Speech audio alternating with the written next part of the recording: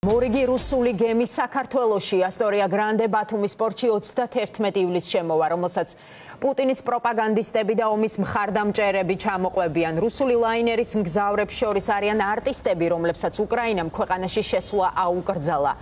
სანქცირებული რუსი არტისტები აქტიურად უჭერენ მხარს პუტინის რეჟიმის აგრესიულ პოლიტიკას. შესაბამისად, ლაინერის წინა მგზავრების მსგავსად მათთვისაც მიუღებელი იქნება სიტყვა ოკუპანტი, რადგან რუსი პროპაგანდისტები და პუტინის მომხრეები თვლიან, რომ აფხაზეთი და ოკუპირებული ცხინვალი საქართველოს არ ეკუთვნის. საქართველოს მოქალაქეები კვლავ აპირებენ გააპროტესტონ საკრუიზო გემის შემოსვლა ბათუმის პორტში და ქვეყნის ხელისუფლების მოღალატეობრივი ქმედება. ვინაერიან ლაინერის მგზავრები, სალომე ჩადუნელი უფრო მეც გვეტყვის გვერდდება პირდაპირ ეთერში გისმენთ სალომე. დიახ, 9 ივლისს გემი ასტორია გრანდე მორიგ ჯერზე გამოვა სოჭიდან და მორიგ ჯერზე გაჩერდება ბათუმში. კრუიზი ამჯერად რუს ტურისტებს ტელიარხ რუტ ტივის ვარსკვლავებთან ერთად მოგზაურობა შესთავაზებს. არტისტებს შორის არის მომღერალი მიტია ფომინი. მას უკრაინაში შესვლა 2017 წლიდან აუკრძალეს. მას შემდეგ რაც განაცხადა, რომ ყირიმი რუსეთს ეკუთვნის. უკრაინის მთავრობამ ფომინის წინააღმდეგ სანქციებიც დააწესა. პუტინის ომის მხარდაჭერის მიზეზით 2022 წლის 1 ივნისს ფომის ქვეყანაში შესვლა ლატვიამაც აუკრძალა. რუსული შოუ ბიზნესის წარმომადგენელი 2022 წელს მონაწილეობდა პატრიოტულ მარათონში ზარასი, რომელიც რუსეთის უკრაინაში შეჭრის მხარდასაჭერად გამართა. ოპოზიციონერ ალექსეი ნავალნის მიერ დაარსებულმა კორუფციასთან ბრძოლის ფონდმა ის კორუმპირებულებისა და ომის გამჩაღებლების სიაში შეიყვანა. მას მიენიჭა კატეგორია გამყიდველი ლიდერები. საიტზე ომი და სანქციები მითითებულია, რომ ფომინმა რუსულ პროპაგანდაში დიდი წვლილი შეიტანა, იყო მხარდამჭერი რუსეთის პოლიტიკის, რომელიც უკრაინის ტერიტორიულ მთლიანობას, სუვერენიტეტს და დამოუკიდებლობას ემუქრება. ფომინი მხარს უჭერს მოძრაობას პუტინის გუნდი. უკრაინაში მიმდინარე ომის დროს მიტია ფომინმა განაცხადა, რომ მზადაა ფრონტის წინახაზე ექიმად წავიდეს. не работал по профессии более 20 лет, то мы იმის გამო რომ ექიმად 20 წელზე მეტია არ მიმუშავია, ჩემი დიპლომი არ არის მოქმედი, მაგრამ თუ საჭირო გახდება, თუ სამშობლო დამიძახებს, მე წავალ საავადმყოფოში სამუშაოდ. ისეთი დროა არაფრისგან ხარ დაზღვეული, ძალიან დიდი სიამოვნებით წავალ. სიამოვნებით კი არა, აუცილებლად წავალ და სხვადასხვა სამუშაოში მივიღებ მონაწილეობას. გარდამიტია ფომინისა ვარსკვლავური კრუიზის შემადგენლობა ასე გამოიყურება. მონაწილეებს შორისაა რუსული მუსიკალური ჯგუფი ტესტოსტერონი, რომელიც ძმებმა ვალერი და ანდრეი ბირბიჩაძეებმა დაარსეს. ისინი ყაზახეთში დაიბადნენ და შემდეგ რუსეთში დასახლდნენ. მიმდინარე წლის 27 ივლისს ჯგუფი ოლეგ გაზმანოვის ვაჟთან, როდიონ გაზმანოვთან ერთად ნიშნი ნოვგოროდში გამოვიდა. სმენელები სამხედრო ჰოსპიტალის პაციენტები იყვნენ. ჰოსპიტალი რუსეთის თავდაცვის სამინისტროს ეკუთვნის.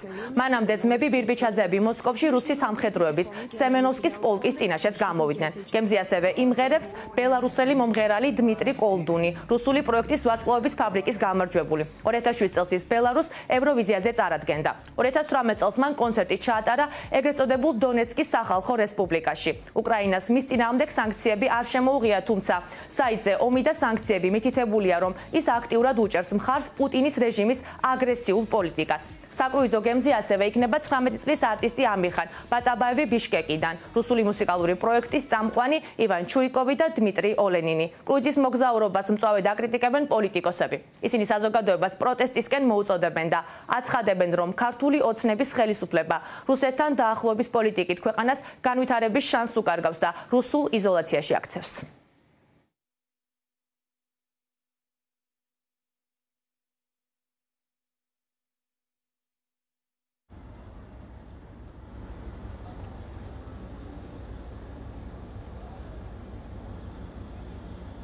ვინც ამას ტაშუკრავს, ვინც ბავშვების რუსების მიერ ბავშვების კლას ტაშუკრავს, ვინც ახალისებს რუსეთს ეხმარება რუსეთს ეკონომიკური მიმართულებით, რომ ვაჭრობა კონდეს გაცხოველებული, მაშინ როცა რუსეთი არინდობს არც ბავშვს, არც ხალხს, ანადგურებს ყოველდღე ყოველდღე უკრაინულ სოფლებს და ქალაქებს თავარი ხაჯები და ქვეყნის მტრები არიან ეს ადამიანები. ჩვენ უნდა ვიცოდეთ, რომ ფული არ არის ყველაფერი და საქართველოს სამწუხაროდ კიკუს პოლიტიკა გახდა მთავარი ხაზი ქართული ოცნების, რომ მართალია უკრაინაში რუსები კლავენ, მაგრამ ჩვენ ფულს ვაკეთებთ. აი ეს არის მავნებლობა საზღვრის დაცვის პოლიციის შესაბამის დეპარტამენტს წინასწარ აქვს ხოლმე ინფორმაცია ნებისმიერი იმ ცურავი საშუალების შესახებ, რომელიც კვეთს საქართველოს სახელმწიფო საზღვარს და შემოდის საქართველოს ტერიტორიულ ზღვაში.